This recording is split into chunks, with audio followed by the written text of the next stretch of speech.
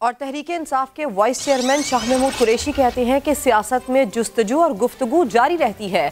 सदर अलवी की कोशिशें रंग लाती हैं या नहीं ये कहना कबल अज वक्त है।